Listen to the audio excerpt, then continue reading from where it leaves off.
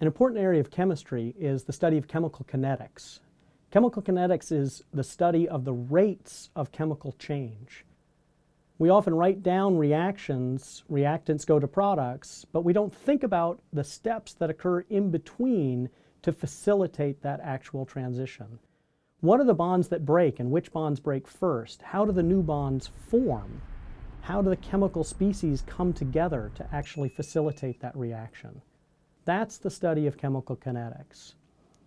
What we typically do is go into the lab and look at what factors affect the rate of a reaction. How does it change with concentration or how does it change with temperature?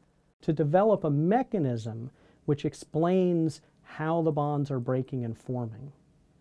Understanding that mechanism is important not just from a fundamental chemistry standpoint, but kinetics is an incredibly practical part of chemistry.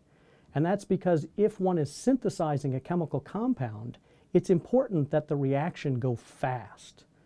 So if you're building a large factory and you'd like to make a reasonable amount of a compound, you need to understand that mechanism so that you can maximize the rate at which you actually get to the products.